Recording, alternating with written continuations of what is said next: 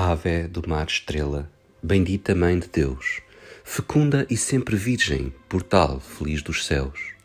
Ouvindo aquele Ave do anjo Gabriel, mudando de Eva o nome, trazei-nos para o céu. Ao cego iluminai, ao réu livrai também, de todo o mal guardai-nos e dai-nos todo o bem.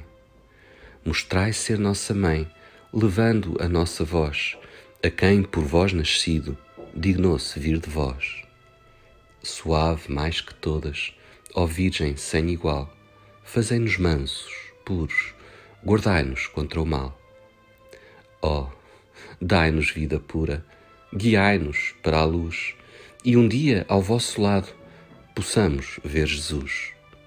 Louvor a Deus o Pai e ao Filho sumo bem, com seu divino Espírito, agora e sempre. Amém.